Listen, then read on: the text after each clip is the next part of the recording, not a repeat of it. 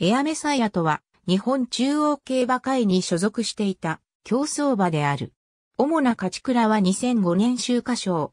馬名の由来は冠名英語で旧姓主。2004年11月にデビュー。デビュー時から安定した成績を残し、2005年の桜花賞に参戦するもラインクラフトの4着、続くオークスではシーザリオの2着と春シーズンは惜敗が続いた。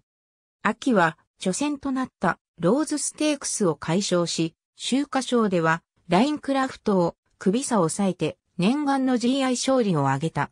続くエリザベス女王杯にも参戦、一番人気に押されるが5着に終わった。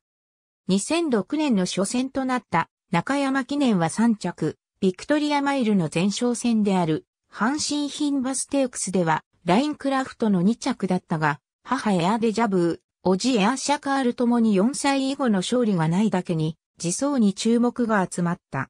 しかし、ビクトリアマイルでは、外から鋭い足で刺したものの、ダンスインザムードに内で粘られ2着に敗れた。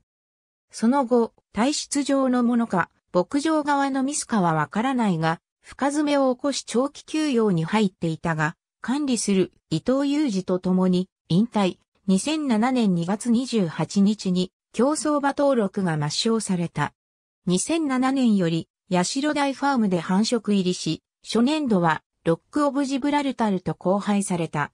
2008年3月14日に初号を出産した。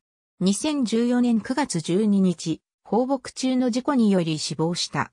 成績は2021年9月8日現在。ありがとうございます。